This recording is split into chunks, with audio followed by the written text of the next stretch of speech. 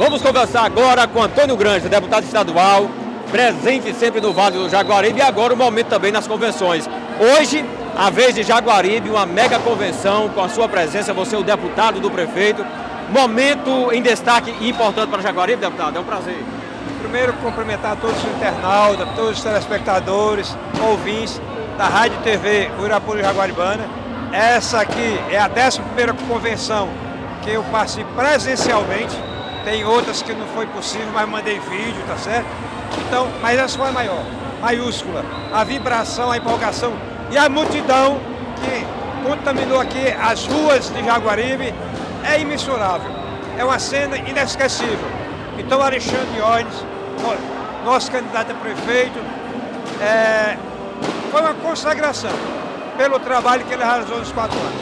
Com certeza, no dia 6 de outubro, o povo Jaguaribe haverá de reconduzir Alexandre Ornes para dar continuidade ao seu trabalho.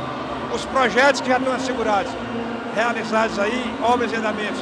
Então foi um momento ímpar aqui de Jaguaribe. Jaguaribe que nas sete, sétimas eleições que me deram votação para deputado estadual, sempre majoritário. Jaguaribe que foi importante na minha infância, estudando aqui em Jaguaribe. Então o momento foi muito importante. Deputado, eu perguntei inclusive ao Alexandre, ele falou da participação dos deputados, da importância da continuação desse trabalho.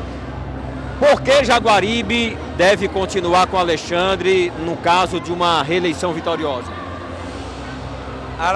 Alexandre, eu acredito que se fizer uma análise profunda, está sendo o melhor prefeito da história desse município. Alexandre tem, conseguiu captar e fazer parcerias com deputados federais, estaduais. Alexandre tem a sua marca em todas as ruas, em todos os bairros, em todos os sítios, com realizações, melhorando a qualidade de vida desse povo. Alexandre tem sido um gigante, um gigante. Alexandre gosta do povo jaguaribe, ama esse povo. Então é importante que ele dê continuidade ao seu trabalho. Os quatro anos foi insuficiente para realizar todos os projetos que ele fez, que conseguiu assegurar os recursos. E o povo de Jaguaribe, o que pode esperar dessa parceria com o Antônio Granja? Ah, aqui eu reafirmo meu compromisso. Aqui eu tirei quase 10 mil votos, aqui, capitaneado pelo Zé Sérgio.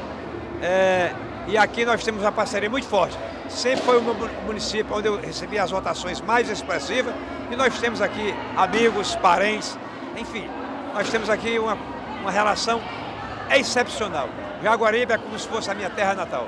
A sua mensagem a quadra jaguaribano diante desse momento, dessa festa, do começo ao fim. Muito animada, muita alegria. Com certeza. É como eu falei, eu estou na 11 convenção presencialmente e foi a convenção mais vibrante, mais participativa, que deu a maior multidão, foi Jaguaribe. Então aqui é a certeza que Alexandre, dia 6 de outubro, esse povo vai reconduzir mais uma vez Alexandre para o segundo mandato de prefeito. Um abraço, obrigado, deputado. Ok, Richard, parabenizar seu trabalho, você é sempre presente, tem sido é, um ícone no rádio aqui do Vale do Jaguaribe e do Ceará.